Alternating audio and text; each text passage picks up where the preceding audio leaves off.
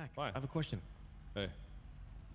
Um, Union 423 1010. what is it called? Oh yeah. Uh, are we good to try out more tracks eventually with the the bike stuff?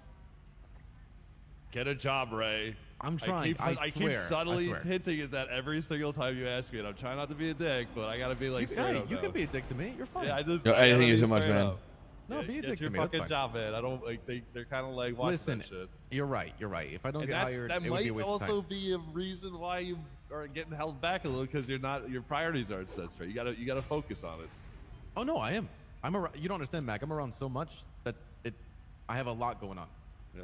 All right. It's just you know it. It's better to show them why they should hire you than, you know, than having to tell them why they should, they should hire you. You know what I mean? That's fair. Yeah, no worries. Do, I do mean, I- that. I'm trying. Do that, I'm trying. and you'll Trust get your me, I job am- immediately. I promise. I am trying. I swear. All right. You got it. Poor Ray. I don't know how we're, I don't know how we're gonna You break the news to him, man. He's never getting a job. Shut up.